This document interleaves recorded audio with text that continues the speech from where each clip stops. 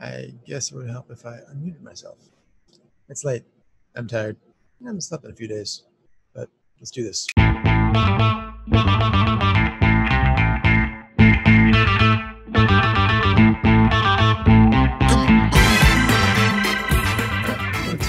Through a really quick, really quick, because I'm going to speed it up, uh, way to create your Instagram posts in Illustrator. Um, I wasn't on the call with Chris. I wasn't. Um, the way I do it is going to have similarities, uh, except that I'm doing it in Illustrator.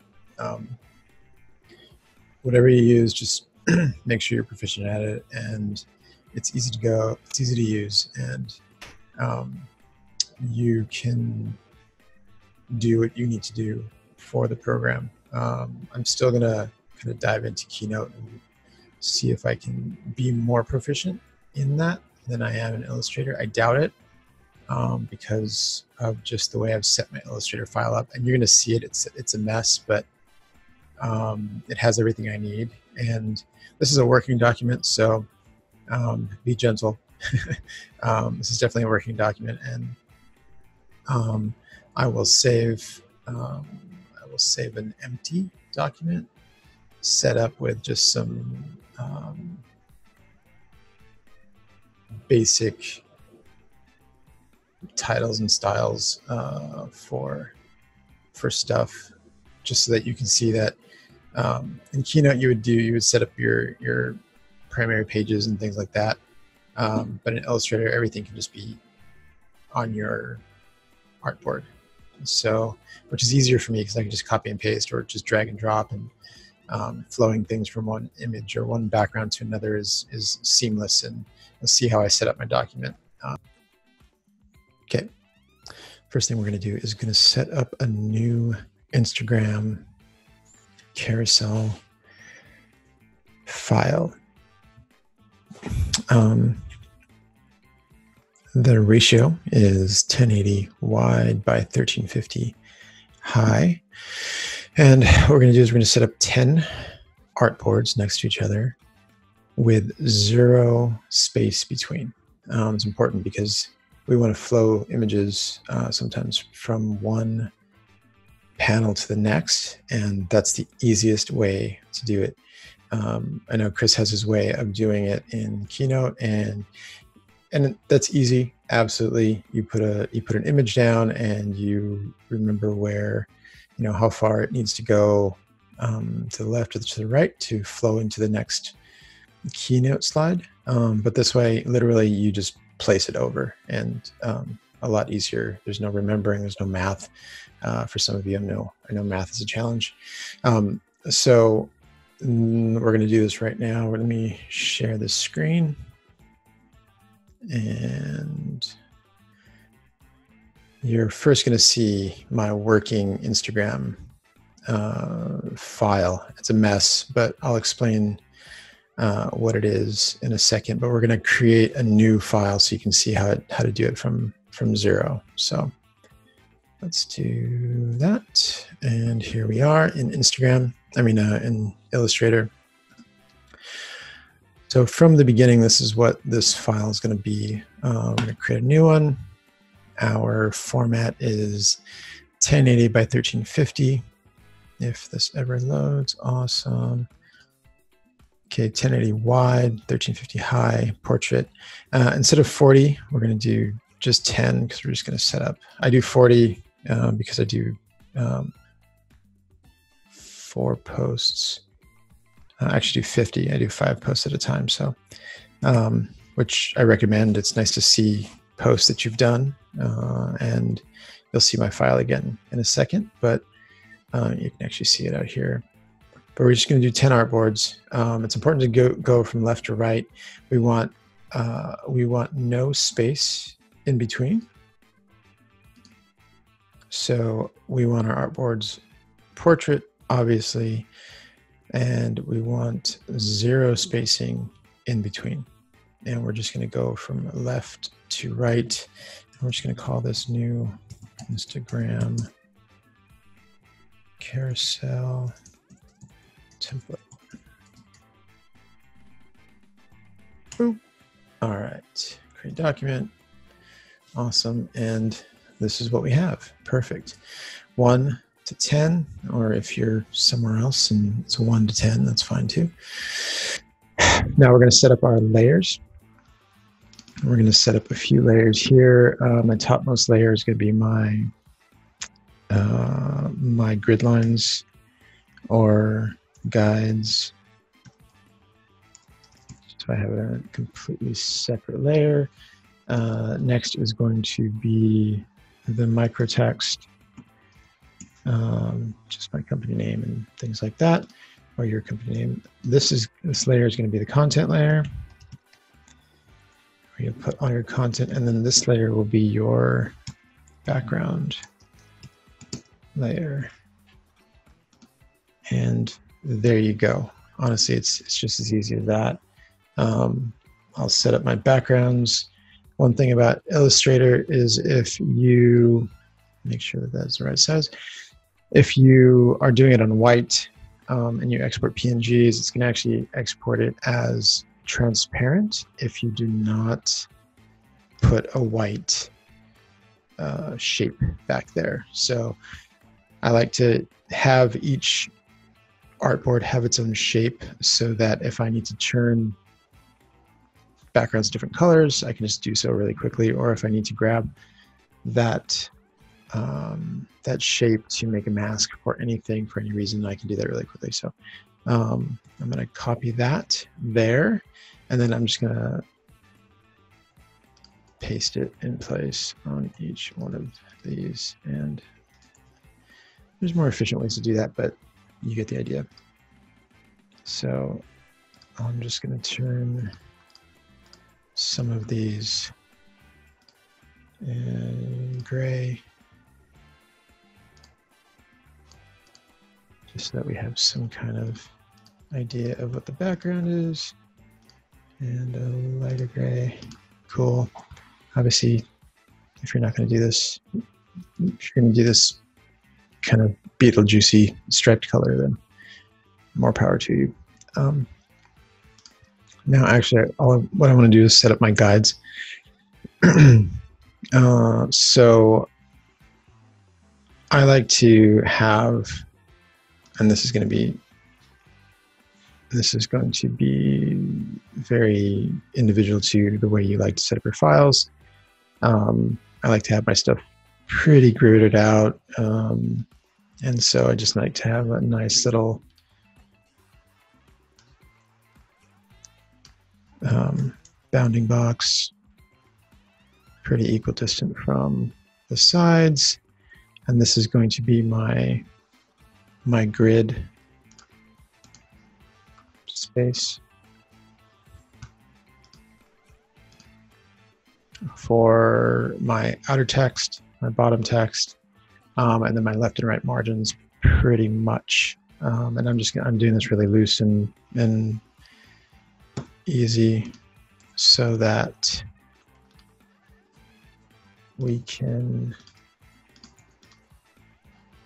already um, select all those command 5 turns it into a grid and there you go those are your grid those are your grid lines um, I also will put a grid line. I'll do a perfect square, which is 1080 by 1080 square. I will center it, line it to artboard, center it in the middle for, it's basically for my uh, first slide, because on the Explore page, they only show your a square crop of your, your content.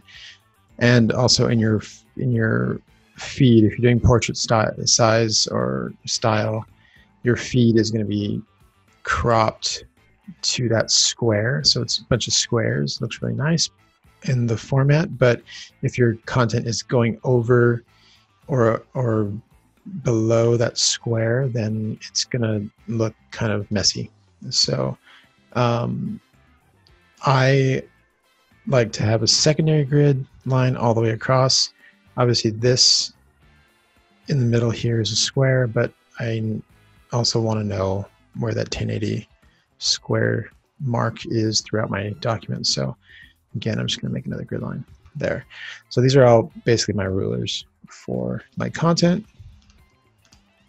And then I'm going to set up my basic micro text and we will put, um, I'm just going to put a little star here. You can do this. This is your company company text. I'll put like a, this is my logo or whatever. You can put it here. We'll just put it on this side to be different. Um, and then, you know, maybe this is, I don't know, the, the, the date. Um, 01, 01, 1974 because it's a really good year for me. And I'll show you how to set up the text styles in a second. Um, and then down here, we're just going to do the same thing.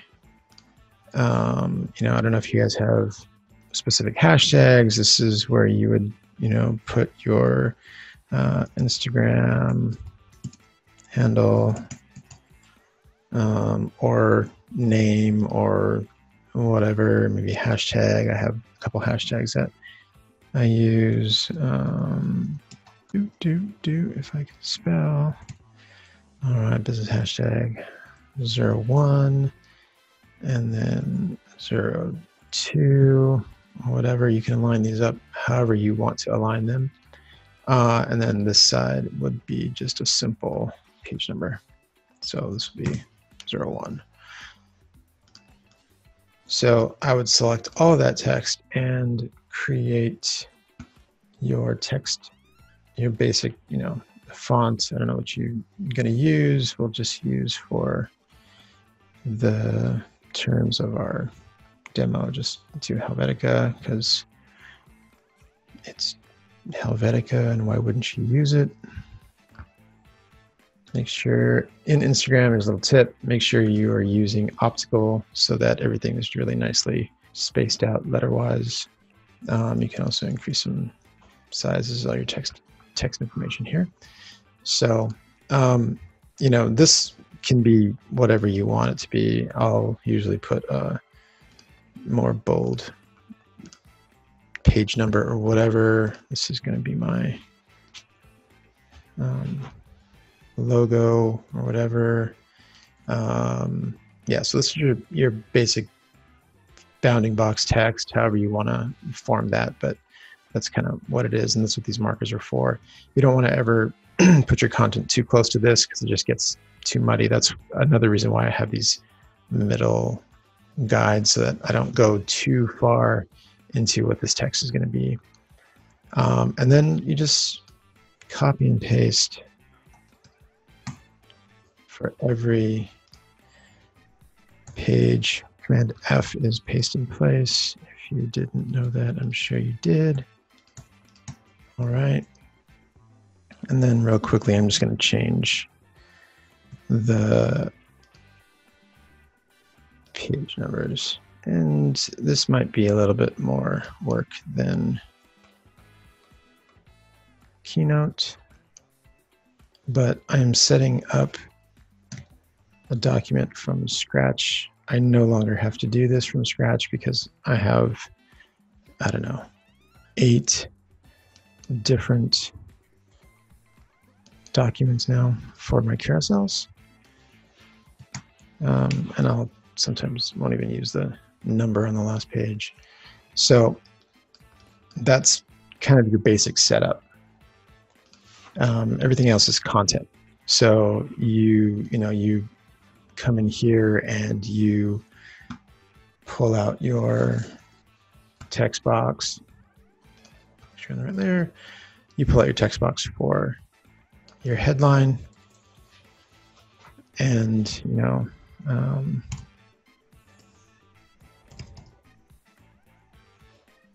you go, and set up your titling. For that, I will use, I use a, all caps because I just, like the way it looks. Honestly, there's no really, there's no real other reason than aesthetically. I just appreciate the way caps look.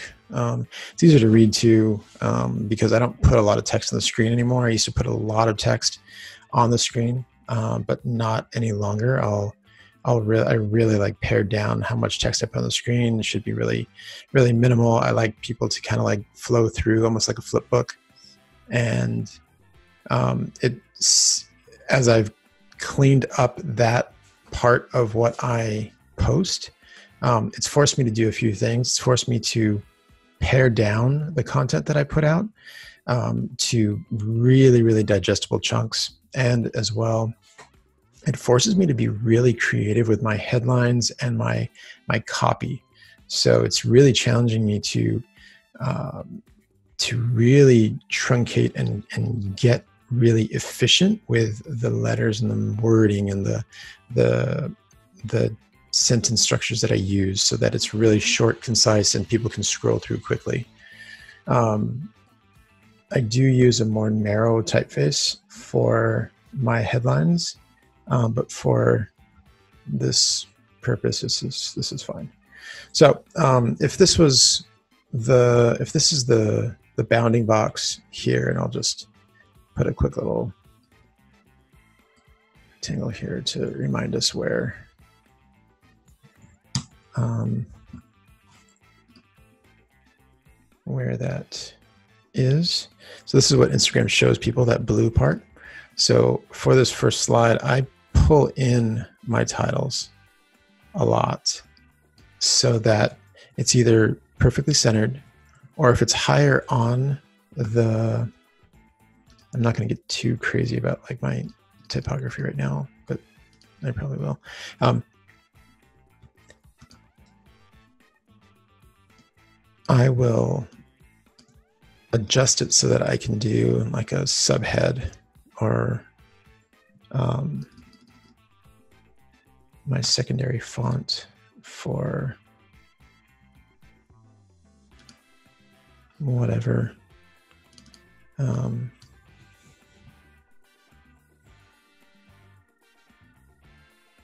Christo is a dance god. Um, bringing his b-boy skills to uh, next generation. I don't know, whatever. Sorry, Chris. We're just I'm just having fun. Actually, I'm not sorry. It's pretty funny. All right, so then I just make sure that this is nice and balanced. Now I'm kind of setting up my own little text rules. Okay, headline, subhead, and I'm going to use these kind of like these fonts in in this way um, moving forward. And you know, how easy will will it be to just say um, like this? make it big, do this. There's no math involved. There's no space between these artboards literally flowing from one to the next. There's no space. There's no um, there's no interruption in the flow, and you really don't do anything else except for texturizing it and um, making it how you want to make it um, if you're going to do this kind of method. And I really like this because it, it helps people just to get to the content really quickly. So, um, pictures the same. I'll bring a photo in that I've used recently. Um, this one. Let's see, this one. This was good. Let's pull this in real quick. Just pull it right in. And if I were to export this right now, this photo would, would be completely flowing perfectly from one to the next. There's no math. It's one photo. There's no there's no other instance of it. It's just one. Um, I will do multiple instances of a photo if I have to do a special fancy trick or whatever. Actually, let's look for a b-boy photo. Um, if I do like a special fancy trick for it, then I will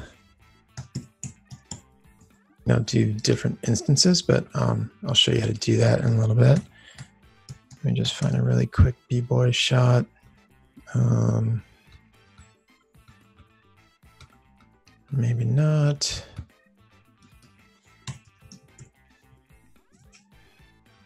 Oh, here we go. Yeah, there we go. This could be this could be Christo right here. Yeah, perfect. Perfect. All right. There he is. Master Doe. Boom. Look at that. This is awesome. Perfect. Perfect. Delete that because we don't need that anymore. If I want to do any kind of blending modes or whatever, they're here. Um, you know, it's fun. Boom, look at that. Looks good. Tighten it up to the end of that one.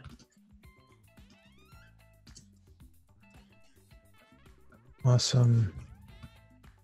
Flow it from one to the next. Um, if I wanted to do that trick where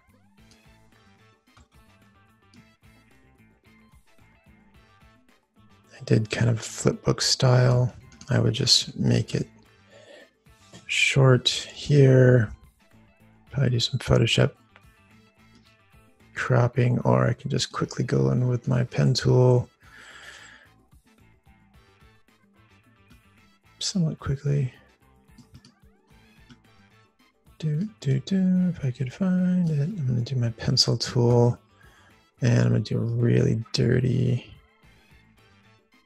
matte just for the sake of doing it. You can take as much time as you want on this, but this is just for the sake of teaching the method. Um, that's fine. We could also do and go in Photoshop real quick and and make this happen. Lock that to my path. Doing that. All right. There we go, the magic of masking. This is it right here. A clipping mask, boom, here we are. It's a dirty mask, but um, you get the idea. We can start right here. And then the next page, just literally drag, press option, and scale it really quickly and zoom it. Boom. There he is. And now we have Christo ish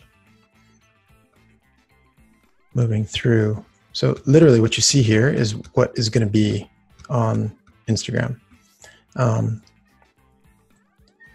I have my final slide um, I'll just copy and paste my actual final slide up just so that I can share with you what um, is all happening here. This final slide has gone through some iterations um, as I've done these to find out what works, what doesn't work. Um, and this is just some fun, interesting things that have worked recently. I'm going to delete my microtext from there And from here, because I don't need it because I'm using that space in a different way. And I've was reminded by and also stole this idea from Dave Tallis, who stole it from somebody else. So I think that makes it okay. Um, I stole this little. I'm I'm trying to get away from likes and are asking for likes, and I'm moving towards um, just building more community and building more conversation. So um, feel free to use that too. I think it's a great idea. I stole this from Tom Ross from Design Cuts. Uh, he has a little um, speech bubble there instead of the little heart and saying, "Hey, like this" and stuff.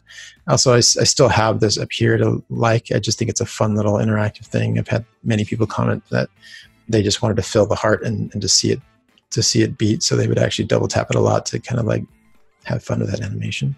Um, so um, I, I wanted to stay away from that down here. So what I decided to do was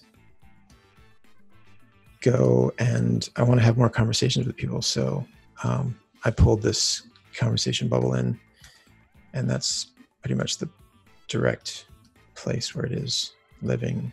Um, just let me see it through. Um,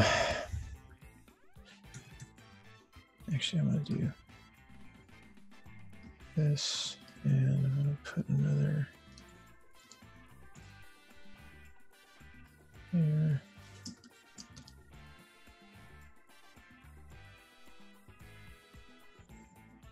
Hashtag dance, oh, fall, dance take this down to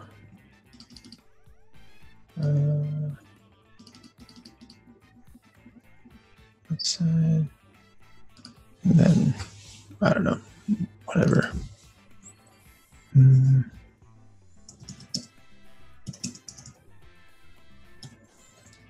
View kind of final slide.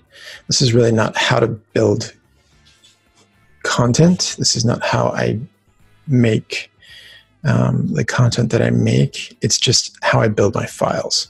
So um, if you want, if you're interested in me talking about like how I come up with my content and how I build um, my different files, then um, I can do that later. Just comment on this video and um, I can do that another time. So um, this is it pretty much. So your styles are, are easy. Once you've built one, then it's easy, right, to build multiple others. Um, from here, exporting is literally the easiest thing in the world. Um, that's not what I wanted to do. Sorry. Easiest thing in the world if you do it correctly.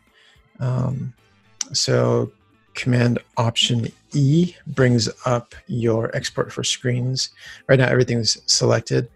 Uh, like I said before, I do 50 artboards in in um, a file, and that is because um, I want to see five posts um, at once. And I might build two or three at the same time. I might just build one. I might build all five. Uh, it, it, depends um, how much content i am coming up with at the moment. Every time I come up with a with another um, another every time I finish a post, I come up with like ideas for another one. So um, I'm constantly just writing in my um, my text file or my notes app that just ideas for content. And just, I, I was afraid I was going to run out of ideas, and instead it's working the opposite. I'm getting more and more ideas. So when I do um, multiple, like when I do 50, I name each row like A, B, C, D. Um, and then, um, so I'll do it here. So I'll do like A underscore zero one. And then I'll just continue this on for the rest. I hope you guys find this helpful. Um, because uh, it's I think I think it's super helpful. So if you're not really sure how to build it and you really want to learn Keynote and you already know Illustrator, this is a really fast, easy way to do it. Um, so everything's set up here. Um, what we're going to do here is we're going to do a suffix, and this is where I actually have the actual, and like the title for my my content. It's like um, dance god or something like that. So it'll be named A1, it'll be MXM underscore A01 underscore dancegod.png. Um, and you can scale this however you want. But if you just output it like this, it's literally going to be perfect. And we'll see it right now. Uh, let me just put it to my desktop. Shouldn't have anything there. Cool. Finally, a clean desktop. And yeah, so I'll export it. Boom, boom, boom, boom. We're going to go to. Hey, so we've exported. We've exported everything onto the desktop, and these are our individual screens or files. And if I preview this, and I just step through each one, seamless images over and text, as well as information that ever whatever each board has. And there's my final slide with my beautiful avatar. And it's always good to ask a question, say thank you. Um, people are people are actually investing their time to kind of read this stuff, so um, it's always kind of a nice thing to say thank you and ask a question just to engage your audience a little bit more. And that's that's it. Hope you guys found value in this. Uh, if you guys need any, if you guys have any more questions that I can answer, um, uh, just leave them in the comments below, and and I'll see if I can create some content for answering those questions. Those questions. So I'm gonna stop the share real quick. Um, hopefully, you guys that is useful. I'm gonna put a link to this, like I think I said earlier, below in the comments so you guys can download this file and have fun. See you guys. Bye.